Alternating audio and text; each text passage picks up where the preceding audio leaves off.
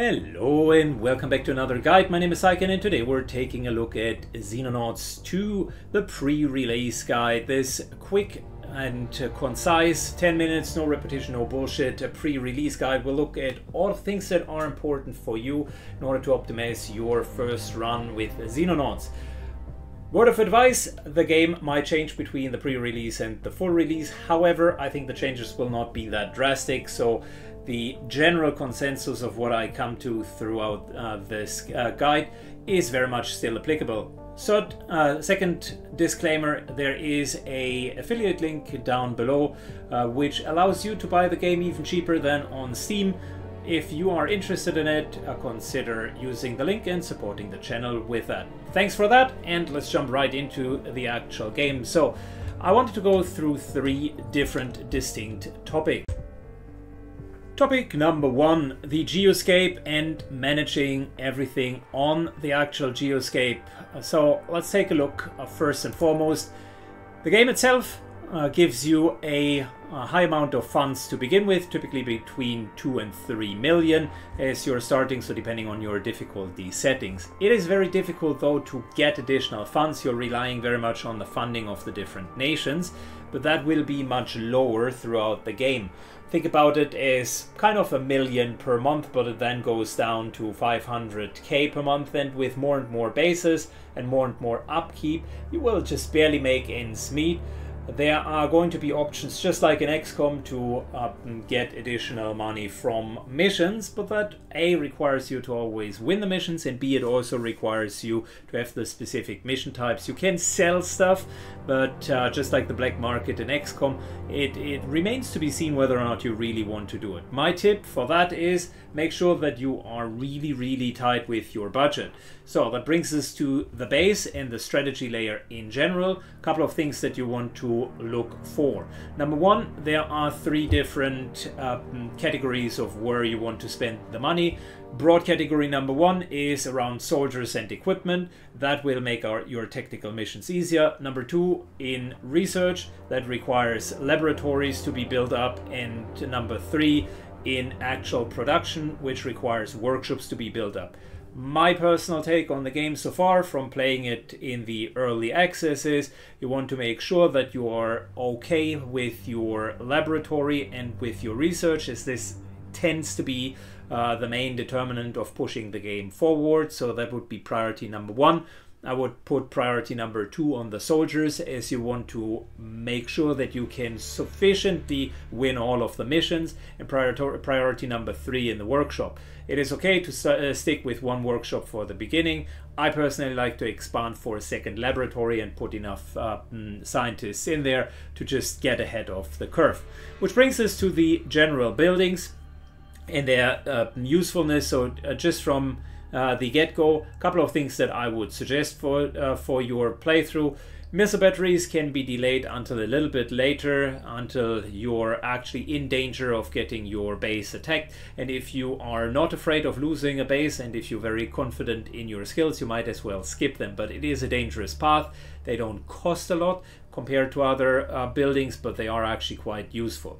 The two buildings that I would go for at the beginning is Medical Center and training center. I would potentially even go for two training centers. So medical center allows you to get a higher uh, healing rate. So uh, soldiers that are going to be uh, inevitably uh, injured will be ready for combat uh, faster.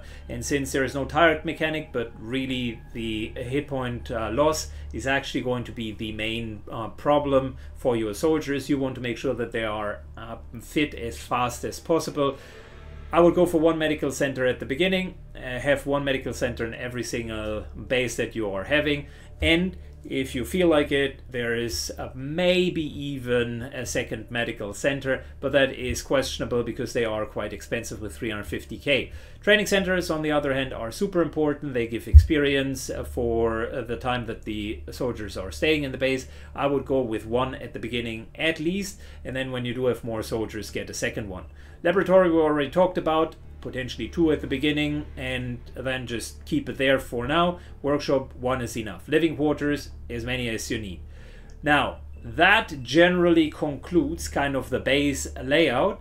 In the closed alpha, The whole uh, air combat is not included yet, but it is relatively simple. Uh, there are a couple of uh, options that you can go with. You can generally have uh, missiles that are better against smaller UFOs or better against larger UFOs, so you just need to equip it accordingly. And then you do have your hard points.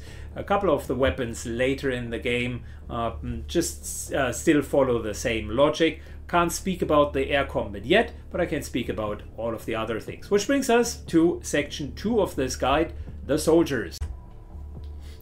Good, let's talk about soldiers, shall we? Soldiers do have varying uh, stats. They do have hit points, they do have turn units, accuracy, strength, reflex, and bravery. Hit points determine the amount of damage that they can take. Let's shortly talk about damage and the calculation of damage.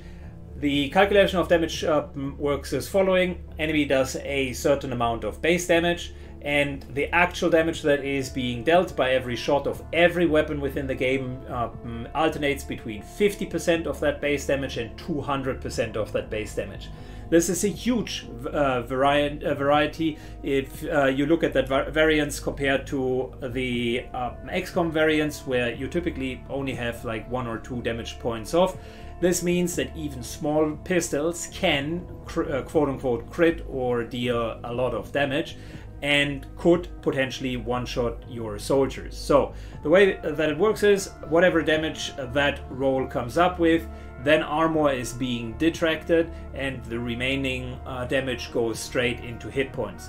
Imagine most of the weapons uh, to deal as a baseline between 25 and 45 points of damage. Heavier weapons later will deal more damage, but that can already give you an indication that every individual shot kind of can go up uh, um, on the upper side between 50 and 90 points of damage mitigation of armor, just so that you know that as well, starts with base armor around uh, 12 to 15, uh, and then goes up as the game goes on uh, to exoskeletons with 35 armor. So uh, that can mitigate some of the damage, uh, but not all of it, and there are also weapons that can bypass part of the armor. Bottom line, you want hit points to survive, but don't um, assume that just because someone has a lot of hit points that they are uh, indestructible. Armor is your friend, but not getting hit in the first place is even more of a friend. Second, turn unit, time units. Uh, time units uh, determine just how much you can do. It is a more granular uh, version of the XCOM approach to it, where you just basically had two actions, or the Gears Tactics version, where you do have three actions. Essentially, time units are a bit deceiving because yes, you can do more with more time units. However, most of the shots of most of the weapons will cost a percentage of the time units. That in return means that even if you do have a thousand time units, uh, you can only shoot a limited amount of times. Time units, however, determine speed. So just read this more as a movement speed. You want uh, mm, generally good hit points. It's a medium important stat. You want high uh, turn units on any form of soldier that needs to walk a lot. So typically soldiers that are carrying shields or typical soldiers that are carrying shotguns want to get up and close. Time units are your best friend. Next up, accuracy. Um, from a rating perspective, hit points uh, moderately important. Um, time units moderate minus, uh, so it's not the main stat that I would go for. Accuracy, important, one of the main stats that I would go for. Anything below 40 accuracy is a huge problem. Most of the weapons use a multiplier of your accuracy, so say if someone has 80, uh, 60 accuracy, a sniper rifle uh, for instance, would take a multiplier, 150% of that. So an, uh, an aim shot would have a 90% chance to hit. Then there are a couple of other uh, factors that um, that go into it, such as, um, for instance, cover um, or other vision distractions. But generally speaking, your accuracy uh, for the weapons is the base determinant uh, for their uh, ability uh, to hit. Uh, you, every weapon typically has different um, moduses of firing. We'll come to that in a second. Typically, the ones that uh, can, uh, the more often you can fire, the less accurate uh, they become. And Most of the weapons also have an accuracy drop off, meaning uh, the distance uh, will essentially cause your soldier to uh, hit less often. The only exception to that is the sniper rifle, which doesn't have uh, a drop off whatsoever. So, accuracy, important skill. Basically, I am very seldomly accepting anything below 50 accuracy. The ones that do have below 50 accuracy, I typically use them, excuse me, typically use them as an uh, grenade throwing or shield uh, wearing soldier. Strength determines, uh, so accuracy important. Strength moderately important, determines your carrying capacity, also determines the ability to mitigate recoil and your distance that you can throw weapons. I typically use high strength on characters that wear a heavy armor that need to to throw a lot of um, grenades, and I use them on characters that have heavy weapons such as the machine gun to compensate for the recoil. Generally, moderately, maybe moderately minus important. Reflex, very important. The three big stats are bravery, reflex, and accuracy. Reflex determines basically your um, order in the Overwatch um, iteration. The way that Overwatch in this game works is whatever is not spent as as um, time units will automatically go into an overwatch in a 45 degrees cone in front of you. Uh, your soldiers will uh, react to anything that is en- that is an enemy and that walks. Enemies have a reflex. Uh, reflex. You have a reflex. Both roll against that reflex, and the better roll comparatively uh, wins and gets to act first. Aliens are fast, hence you want to have high reflex. If you do have a really poor reflex, that makes the character less attractive. And if you take the uh, mm, weapon platform out of it, you can see that all of the characters have uh, almost 50 and above reflex. It's one of uh, those disqualifying criteria, just like low accuracy. Low reflex would get them uh, out of the squad as well.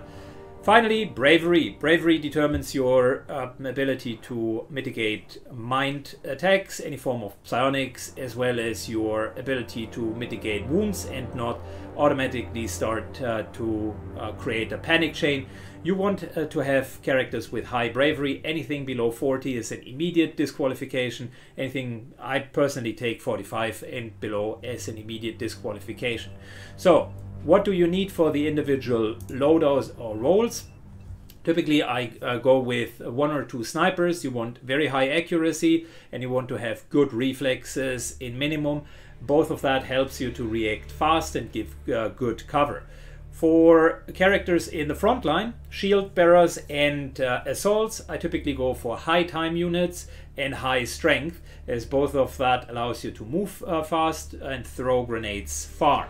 It certainly does help to have above average bravery and above average reflexes as well, but it's not that important. Then, it, um, on top of it, uh, heavies and grenadiers for me fall into an in, uh, interesting category uh, of fire support. Heavies are dealing a lot of damage and can uh, suppress, but they require a high strength, they require an above average accuracy, um, I'm willing to compromise on time units and uh, hit points. They don't need to move that uh, fast, but that is what they definitely need to do very well. Grenadiers, similar concept. You want high strength because typically they need to carry a lot, uh, and you want a high accuracy because the uh, the grenade thrower, per definition, is a very inaccurate weapon. So both of uh, those classes need those stats. Everyone else that doesn't really fit a, a good uh, scheme is a rifleman and typically uses that as the default. Which brings us to the equipment, so let's do a short guide through that as well. To start up with equipment, you do have a primary slot, a secondary slot, and a backpack, and all of uh, that is being limited by your amount of carry weight. So strength definitely is ge generally an important uh, an important stat. There are a couple of pre-loaded uh, mm, loadouts. Assault is the classical XCOM assault minus the sword. Uh, Grenadier is the Grenadier in uh, XCOM minus the ability to have a heavy weapon. The heavy weaponer is the Grenadier minus the ability to have a uh, mm, grenade launcher, so both of them together would be the grenade class. Rifleman is potentially best described as a uh, medic, uh, mm, so potentially the support class in XCOM minus the ability of the Gremlin drone. Shield would be uh, closest to the Templar uh, mm, minus the ability to melee and have any cool uh, uh, psionic abilities. It's really just a pistol and a shield but they can go in first and take a lot of uh, the Overwatch fire. And Sniper is pretty much the Sniper. All of the classes generally within Xenonauts are much more down to earth, no special abilities and so on, just very basic military uh, style. Imagine uh, if you were to mod XCOM in a way that everybody is a rookie and they just continue being a rookie, but their stats increase, so to speak, and they can use the different weapons. That's pretty much what you get in Xenonauts. So, that brings us to uh, the roles of those characters. The way that I'm generally looking at it is uh, you want to have a front line that typically are assaults, shield bearers, and weapon platforms of sorts. These guys are starting um, at the very front of uh, the Sky Ranger and are essentially the first ones to deploy. Then you do have kind of a midfield, which um, is where heavies, grenadier, and riflemen fall into. And whenever I am building a fire line, these are like shortly behind uh, the scouts. And then you do have a back line, which are the snipers, and uh, they typically uh, will need to have good elevated positions and um, a free reign to take shots on the enemies. Let's revisit a few of the weapons and just give them a few, uh, give them a rating. Ballistic pistol uh, is an okay weapon for a secondary uh, for a secondary slot okay specifically for grenadiers because grenadiers weapons can't overwatch and um, hence the pistol offers an ability to just squeeze in that extra overwatch. Generally the damage of the pistol is very low so i can't recommend it as a weapon unless um, for those specific situations where you need an offhand sniper and grenadier potentially are the ones where i would put it onto uh, ballistic shotgun, very good, uh, but falls off incredibly fast. So the uh, ballistic shotgun itself is potentially one of uh, those weapons where uh, you are where you are having to make a decision whether or not you want to uh, take them. they shoot three times with their slugs but they essentially have a 6.25% uh, drop off of accuracy per tile. Realistically, anything further than 3, 4, 5 tiles away is becoming a problem. I like them in assaults. Uh, they are great for breaching uh, close quartered uh, headquarters, but other than that, the, uh, the weapon itself is not very good. The assault rifle is one of the weaker weapons in my perspective. It's a decent weapon um, to have single shots but also burst fire. It is okay if you're uh, finding yourself um, in a trench or behind some sort of cover where you can continuously shoot. My biggest grudge with the weapon is it uh, really doesn't uh, have a lot of accuracy and with a solid weapon drop off of 1.5% uh, it it does not feel like uh, it has a, a, lot of medium range where it typically would need to shine. So if anything, I would potentially give it less uh, weapon drop off. Uh, moving on to the heavier um, brother of that, the ballistic machine gun, which can only shoot burst fire or full auto. Uh, that one is great when it works, but it is very, very situational. What I, do I mean with that? You can see down there in fire modes, uh, the base burst fire mode already costs 50% of the time units. Uh, the burst fire or full auto costs 75% of the time units. It's very seldom that you can move with that weapon and then really take a shot. So the um, uh, short and sweet of it is this is more a support weapon that suppresses because uh, enemies will keep their heads down once they are being hit by it and you really want to find a decent, uh, slightly elevated position with a heavy gunner and not move a lot. Then the weapon is good. Moving on to the second last weapon, which is the heavy launcher. Uh, that uh, weapon is potentially one of the most deadliest weapons, simply because it deals AoE damage, has four shots, very very high po uh, point of damage the 35 kinetic uh, can uh, can uh, be dealt to anyone in the area however it has a problem with its um, with its uh, hit bonus.